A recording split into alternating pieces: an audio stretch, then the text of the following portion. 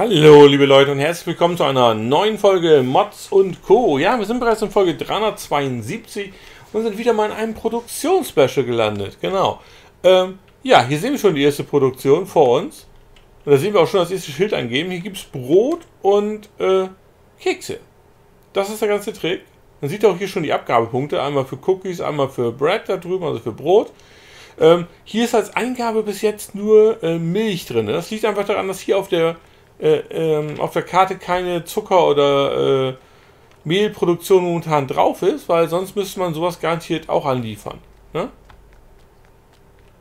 Hier seht ihr dementsprechend dann die, Palett, äh, die Palettenplätze, wo was ausgeliefert wird. Und hier seht ihr nämlich auch, dass die Anlaufpunkte dementsprechend noch sind. Kann auch sein, dass hier noch Öl oder irgendwas anderes angeliefert werden müsste weil ähm, die Produktion läuft ja theoretisch gesehen immer mit dem, was drauf ist auf der Karte. Das heißt also, wenn ihr jetzt die anderen Rohstoffe hier auch hättet, würden die rechts in der Liste mit auftauchen.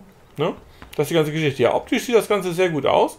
Wir haben wieder ein schönes Stein, äh, den schönen Steinbereich, da hier so ein halb runtergelassenes Tor. Hinten kann man sogar reingucken. Ein paar Rampen zum Hochgehen, schön dekoriert das Ganze.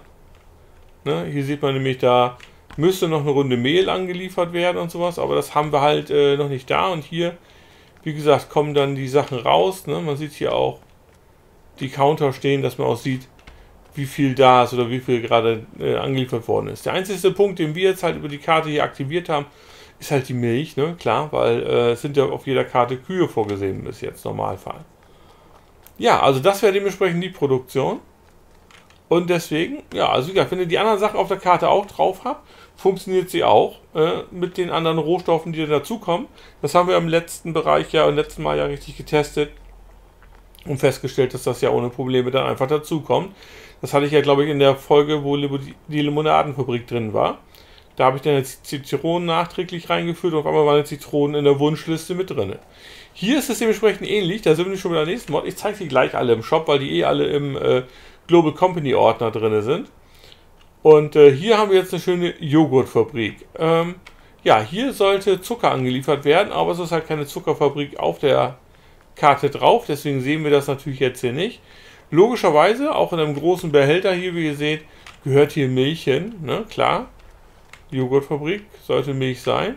Und da seht ihr es, momentan äh, muss man Milch anliefern und dann kommt Joghurt raus und äh, eigentlich sollte hier auch noch Zucker angeliefert werden. Ne? Hier hat man dann wieder die Palettenstation, wo das Ganze hinkommt.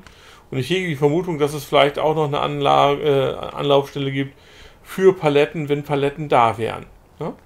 So, das wären die ersten beiden. Die nächsten Sachen hier sind äh, Gewächshäuser. Läuft auch über die Global Company Mod. Die Infos kriegt man immer vorne an der Tür. Hier sieht man einmal, dass wir hier Kürbisse dementsprechend dabei haben. In der nächsten Variante, es muss immer Wasser und äh, Mist angesetzt werden, also Wasser und äh, Mist angeliefert werden. Hier kommt nichts anderes dazu. Hier haben wir Hanf dementsprechend einmal als Produktion. Hier sieht man auch mal schön äh, ne, mit so Zubehör, Müll, Lüftungsanlagen. Ne, ist alles da. Die sind alle vom Prinzip gleich aufgebaut und hier haben wir das gleiche für Gurken. Ne? Hier immer den Mist rein. Hier kommt immer der Wasser rein, äh, der, der, das Wasser rein. Hier seht ihr wieder Deko und hier sind die Palettenplätze, wo das Ganze abgeholt wird. Ja? So, ja, was habe ich denn noch hier drauf gesetzt? Äh, ich habe noch zwei Sachen hier drauf gesetzt. Und zwar eins ist das Warehouse. Das Warehouse hatte ich schon mal. Das ist jetzt hier bloß in einer neuen Version. Das ist etwas überarbeitet worden und vor allen Dingen sind Fill-Types dazu äh, gemacht worden. Das heißt also, äh, es sind mehr Sachen eingetragen worden, die man dort verkaufen kann. Das heißt also von dem Warehouse, wenn ihr sonst nicht mit so super vielen Verkaufsständen oder Verkaufsplätzen arbeiten wollt oder euch die Originalen nicht reichen, aber ihr wollt einen so einen universellen dazu haben, den ihr euch selber platzieren könnt, ist der Warehouse zum Beispiel eine gute Wahl, weil die äh, Varianten, wenn die up to date sind, also immer wenn ihr euch neueste Versionen davon zieht, sind auch neuere Früchte oder neuere Produkte eingetragen worden. Das heißt also, dadurch habt ihr immer eine Chance, dass die Sachen da verkauft werden. Da das jetzt hier alles ziemlich neu ist und die, das Warehouse ein paar Tage vor einigen anderen Sachen hier rausgekommen ist, steht hier noch nicht alles drin. Ich gehe jetzt hier einfach mal in dem Shop-Part hier durch, dann seht ihr das Ganze auch. Hier vorne sind die ganz normalen Früchte. Da seht ihr auch, äh, The Warehouse äh, übernimmt auch einige andere Sachen, wie zum Beispiel Wolle und Baumwolle, könnt ihr auch in The Warehouse, also das Warenhaus, verkaufen. Ne? Genau wie äh, hier zum Beispiel auch Silage und Gras und sowas. Das sind immer Alternativen, hauptsächlich zu äh, Sachen, wo wir nur einen Verkaufspunkt haben. Milch ist jetzt hier nicht eingetragen beim Wehrhaus und Eier auch nicht. Ne, aber zum Beispiel der Kürbispart war hier schon drin, ein Bier war hier schon drin, Wein und auch das Brot war hier schon drin, weil es gab schon mal eine Bäckerei. Das ist jetzt eine neuere Version, wo es dann halt auch die Kekse noch zusätzlich gibt. Zu der anderen Geschichte mit dem Wein und sowas kommen wir dann gleich noch. Das ist noch die andere Mod zum Zeigen. Aber so seht ihr selber, hier wird das nach und nach alles unten eingetragen. Zum Beispiel auch die ganzen anderen Geschichten, die ich schon vorgestellt hatte. Ich hatte das Warehouse ja schon mal vorgestellt. Da konnte man das unten dann auch sehen und da war es dann unten auch alles eingetragen. Ne? So, ich würde sagen, ich mache jetzt mal erst die Shop-Variante und dann kommen wir noch zum letzten Objekt. So, hier seht ihr es auch schön immer mit Bild dabei. Cookies 175.000. Hier seht ihr dann selber, ne, Cookies und Brot kommt rein und äh, das ist es in dem Sinne dann. Wenn ich draufdrücken würde, würde es halt nur gesetzt werden. Ich zeige euch das gleich nochmal in der Global Company Übersicht. Dann seht ihr die Sachen nochmal. Ne, auch hier Cucumber kostet 65.000. da sieht man halt Mist und Wasser und es kommt raus Gurken, ne, wie hier auch abgebildet. Die Destille, das ist das, was ich gleich noch zeige. Da seht ihr, kommt eine ganze Menge rein oder kann eine ganze Menge reinkommen und eine ganze Menge rauskommen. Hier unten ist momentan auch nicht alles eingetragen. Ähm, zeige ich aber gleich. Das kann ich am besten am, an der Mod selber zeigen. Ne, Hemd genau das gleiche. Mist und Wasser kommt rein und es wird halt äh, Hemd produziert. Das gleiche funktioniert genauso. Mist und Wasser kommt rein und Kürbis kommt raus. Ne, die liegen bei 100.000 und bei 60.000. Warum die Destillerie so teuer ist, kann ich gleich zeigen, weil da gibt es den ganzen Haufen Produkte und eine Menge zum Reinmachen. Das ist also schon eine sehr schöne Geschichte. Und hier sieht man selber, Milch kommt rein, Joghurt kommt raus. Sobald der Zucker noch bei wäre, wird das Zucker hier auch extra stehen. Die Fabrik kostet dann 110.000, so wie sie dann hier zu sehen ist. Ja, ja ich würde sagen, ähm, ich mache jetzt erstmal den Weg zur Destille. Das ist nämlich das wunderbare Gebäude, was wir hier sehen. Und fangen wir auf dem umgekehrten Weg an nämlich mit der Auslieferung. Wir laufen einmal eine Runde. So, hier seht ihr Auslieferungspunkte, den Zähler und äh, ne, Palettenplätze, genauso wie hier auch den Zähler und Palettenplätze. Ne, auch hier seht ihr schön mit Fässern und sowas. Alles dekomäßig sieht das alles sehr gut aus. Ne? Bis hin zur Zähleruhr, ne, Obst-Wein-Geschichten, da kommen wir nämlich deswegen gleich noch zu. Hier stehen noch schön die Fässer. Ne, dann hier um die Ecke haben wir die nächste Abgabegeschichte. Hier ist auch noch schön Deko angebracht und hier ist Nummer 4, weil die Fabrik tatsächlich vier Produkte rausschmeißt. Könnte ein bisschen ordentlicher gehalten werden hier, aber ihr seht selber, ne, es ist alles da. Paletten, weiß ich nicht, ob hier der Abgabepunkt noch ist oder ob die ohne arbeitet. Man braucht auf jeden Fall Wasser in Anlieferung. Da sieht man auch hier, ne, die Bestandsuhren, sogar hier wie die Pumpengeschichten, dass alles ins äh, Gebäude geführt wird und so. Ich weiß nicht, wo man hier einen Stapel Ersatzräder stehen hat, aber hat man halt. Hier ist auch ein Container. Ne, Glens Creeks Distillery hat man noch den LKW das Ganze abtransportiert oder noch woanders hin transportiert.